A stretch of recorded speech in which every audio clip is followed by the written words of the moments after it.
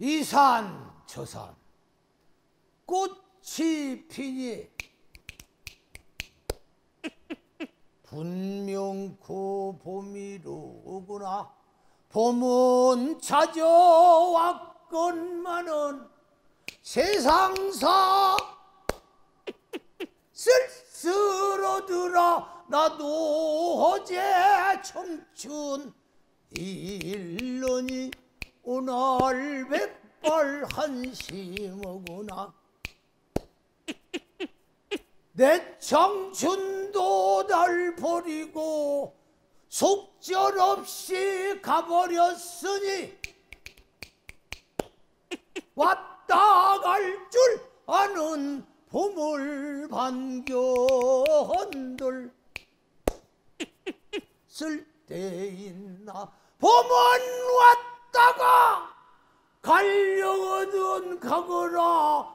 네가 가도 여름이 되면 녹음방 조성하시라. 옛부터 일러 있고 여름이 가고 가을이 돌아오면 한로상풍 제절기를 굽히지 않는 황구 단풍도 어떤구.